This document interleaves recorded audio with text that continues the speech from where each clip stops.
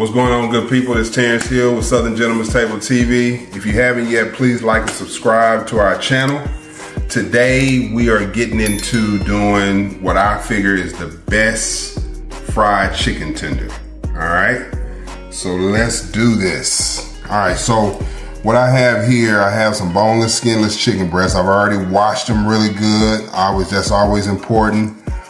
And what I'm gonna do is I'm gonna trim some of this, you know, a lot of times you see a lot of this excess fat and we wanna trim, trim this stuff off, okay? I'm just gonna trim that. But now for me to make the chicken tenders, I'm gonna show you. What I wanna do is, I wanna take that breast. Sometimes people will cut the breast in half. I like the thinner ones. So I'm gonna take the breast,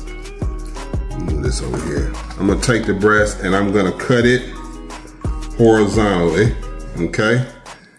What this also does is it actually makes you, you get a few extra chicken tenders, okay? And then I'm gonna start cutting these into strips like that. You see that?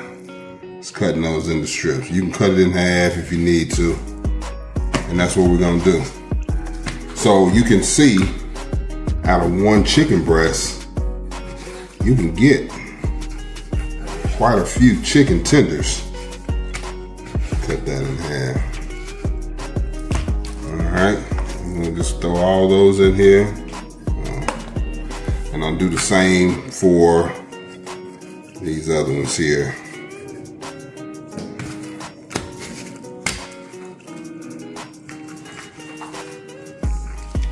Again, you don't have to cut them this way. If you like some of the, the larger chicken tenders, then, you know, it's okay to keep the breast uh, whole. Me personally, though, this is just a personal preference. I like them a little bit thinner because they cook much better.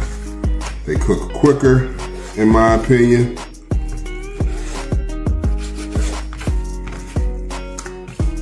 Nice right there. You can do the same thing if you were making chicken nuggets as well. Or, you know, the uh, the all the all meat chicken nuggets, of course. But you see how thick that is. Again, I'm gonna trim that. All right, so now that we got all the chicken tenders cut up into the right pieces, so now we're gonna get into the actual batter of it. All right, a little bit. Sometimes, like I say, I just get some of the excess off. And I always feel too, because a lot of times the manufacturers may leave an excess bone from that breast. And so you would just want to make sure that you get eliminate that as well, okay? So make sure it's clear. Because these are obviously boneless chicken tenders.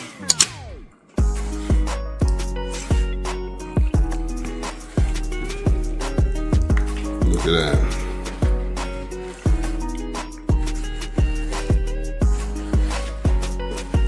Just like that.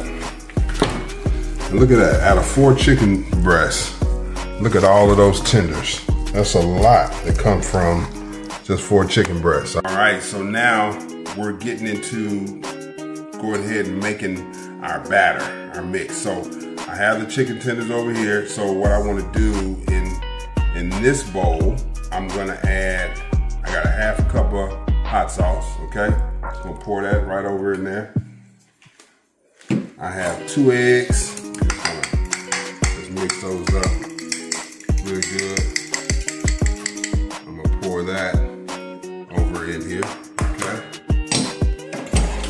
In here, I have two cups of half and half, and I have a half a cup of club soda, all right? So all that's gonna go over in here. Now, I normally like to let this sit for at least 30 minutes. Now, if you have opportunity to sit this mixture overnight, is gonna make it even better. Okay, but at least 30 minutes, okay? So here is our that is that is our solid mix, okay? We go, I want to show you as far as our dry mix. So this is our kind of the wet marinade, so to speak. In this bowl here, what I'm using here, I have a seasoned flour, frying flour. It's already seasoned, already has all the spices and everything's really good. If you don't have that, it's okay. In the recipe below, I'll also share the actual ingredients for a spice mix if you're just using plain flour, okay? So in this bowl, I have what is a two to one ratio, okay? I have two cups of the seasoned flour and I have one cup of cornstarch.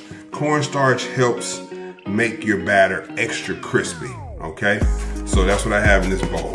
So we're like I said, we're gonna give it about 30 minutes. We're gonna let this mixture sit in the fridge. And when we come back, then we'll go ahead and start battering, all right? All right, so now chicken has been in the mix for about 30 minutes now. So now we are ready to start doing our batter. So now, if you got fry stations, obviously it's my wet batter. You could do, I wanna take it from the wet batter, it's gonna go into the dry.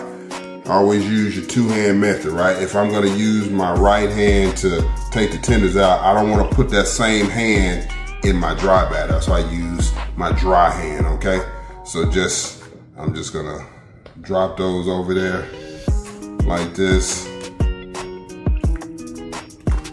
Do a few of these so you can see this.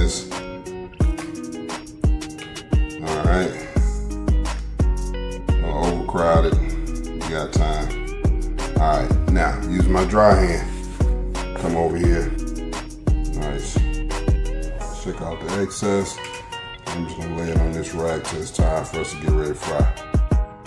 See that?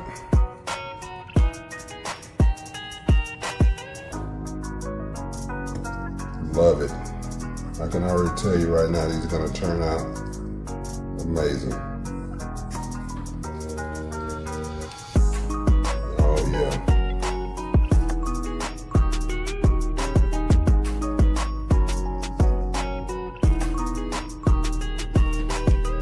All right, so once I get through these, when we come back, got the fryer already started up at 350, and we're gonna get ready to start frying, all right? We'll be right back.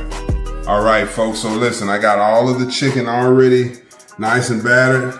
My grease is ready, sitting here at 350 degrees. I normally put about 355 because as soon as you, normally when you put in a product, it's gonna go down a few degrees. So, so now I'm going to start putting some of these in the baskets. I'm telling you, these are gonna be amazing. Don't overcrowd your basket, don't load it up. It'll fry much better, trust me. All right, and let's see. Check them, make sure they don't stick together. Y'all see that? starting to come together a little bit. All right, so now I'm gonna let them go. So now what I normally like to do is I double fry them, twice fry. So I'm gonna flash fry them right now. They're gonna get a nice color, but they're not gonna be done, quite done. They're gonna be right there. I'm gonna take them out, get all the other ones done, and then they're gonna finish off. Cause I like mine a little extra crispy. They'll be perfect though, all right? So now we're gonna, gonna let this go. I'll show you what they look like from the first fry, and then I'm gonna go through and do all the rest, and then we'll come back and, and double fry. But I can tell you right now, look at that, look at that right there. Yeah, it's gonna be amazing, I can tell you right now. All right, all right, so I want you to look and see. So right now, like I said, they're not they're not quite done yet, but they're getting there. It's starting to get that crisp on them.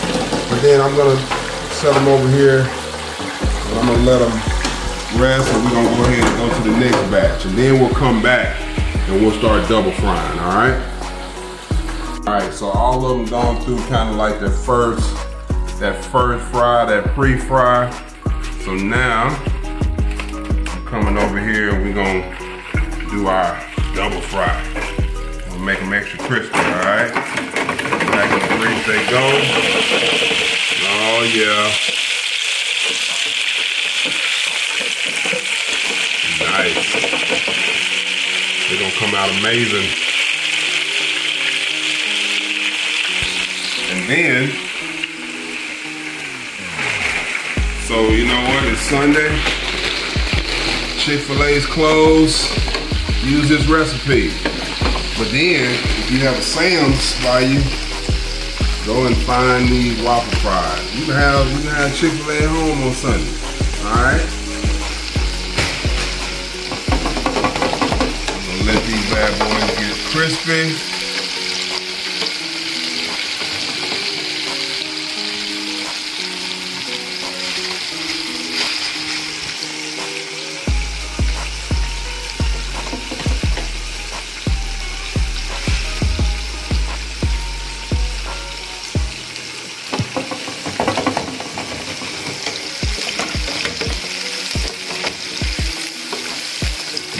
Best way to uh, to tell when your chicken is done, you'll start seeing them starting to rise to the, to the top.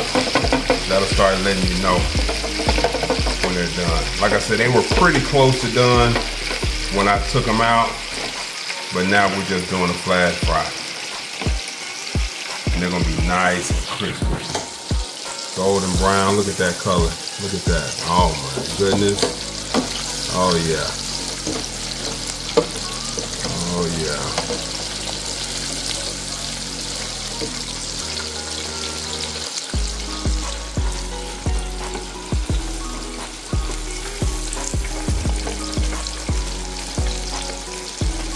Mmm.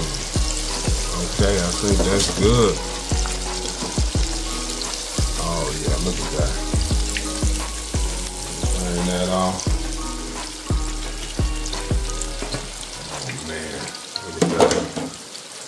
Yeah, they're crispy. Oh yeah. All right. So if we get through with these, let's get everything together, then we're gonna taste them, all right? Man, look at this right here. Look at that.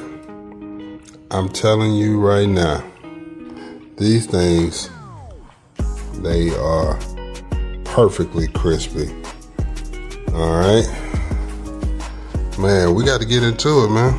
Listen, these things are Amazing. Let's see. Mmm.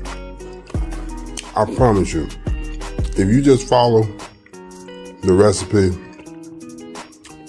you got guys comment let me know if this is not one of the best chicken tenders you ever had. All right. Appreciate you for joining. Again, share this video, like it. Please subscribe to the channel. All right. We'll talk to you guys soon.